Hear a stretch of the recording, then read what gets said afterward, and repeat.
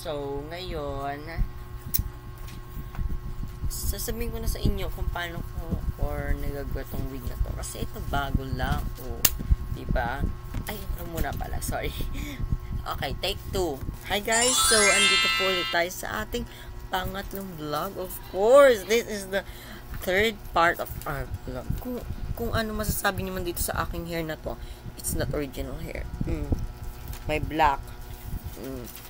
Wig lang po siya that I made by yarn. Mm. So, ito na nga po, ipapakita ko na sa inyo kung paano ko nagagawa ito. Let's go. Okay, so guys, I'm presenting you the brown long hair. So, mukha namang hindi siya long, o diba? Kasi, alam niyo naman, yung pagkakagawa ko to is mahirap po siyang gawin. So, hindi naman po ako bibili ng mga mamahaling wig na katulad ng mga nabibili sa mga ibang ano, store dun sa SM Mall, ganun, sa Shopee, mga online online marketing, ganun. So, I madeing myself a creation of the ano ang tawag dun? Creative for using um, my own educationally made by myself, ganun. Ako nagagawa tapos. Ito lang na brown na to is ako po nang gawa. Hmm. Brown check. So, ang next naman po is this black po. It's long hair, tapos black. Mm. Wag kasing haba lang po sila ng white ko na to. Dahil, eto pong hair na to is mamaya ko po i-describe sa inyo. So, eto po is made of yarn din po. And then, I made this for all myself because I'm so creative. Pero sa school, hindi. Oo. Totoo lang. So, Next, so ito naman, I'm presenting you all that this brown wig that I made by yarn. So, I made it by myself. So, creative at home, DIY, like that.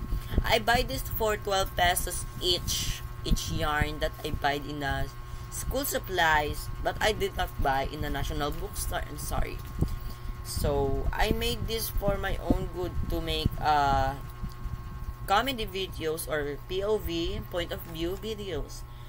So, next is the black short hair looks like.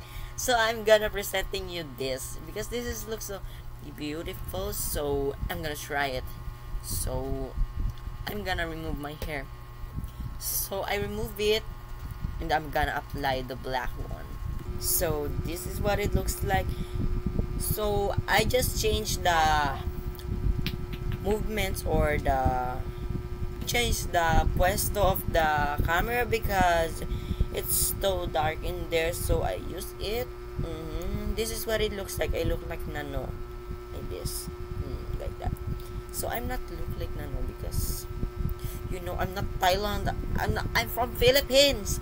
Philippines the most hottest hottest country in the world. I'm just joking so this is the opportunity that I am going to show you that this is very special to me and it's so gorgeous to looking so like that now